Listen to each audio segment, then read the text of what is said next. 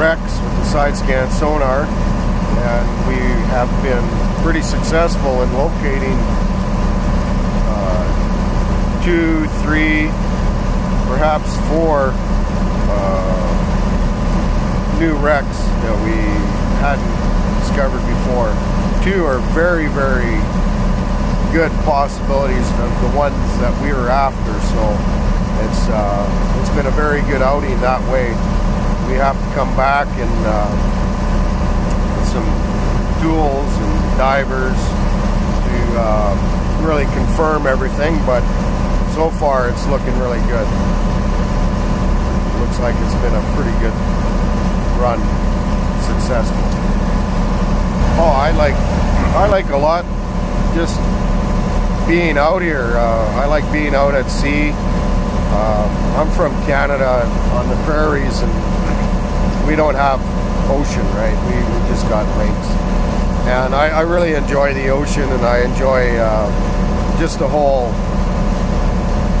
you know, procedure of, of, getting things together, the tools that we're using, and uh, doing the research beforehand, and then going out and, and actually finding something and then uh, obviously the next step, which I hope is going to happen, is actually bringing up some, some stuff that we found that's, uh, you know, uh, valuable and uh, making a, a, a, pretty good profit from it. I, so the whole thing is kind of is fun for me, I guess.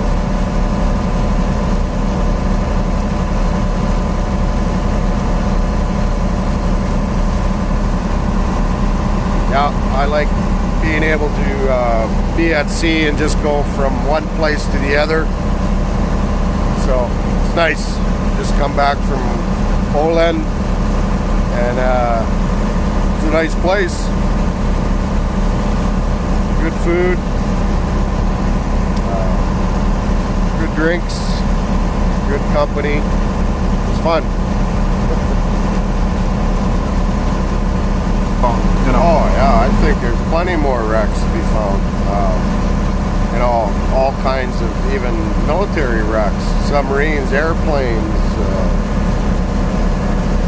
you name it. Maybe even some Viking ships would be great. You know, find some really old artifacts that could potentially rewrite uh, history. Really, uh, that'd be cool.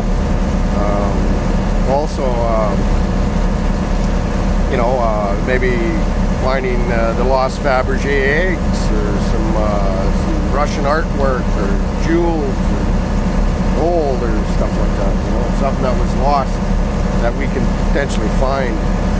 I think there's uh, lots of potential in the future for that, not only for uh, for cognac and champagne, but other artifacts and historical shipwrecks. You know, I think there's there's plenty to be found here in the Baltic, and in the world for that matter. Plenty of stuff everywhere. Guy could do this his whole life and still only scratch the surface.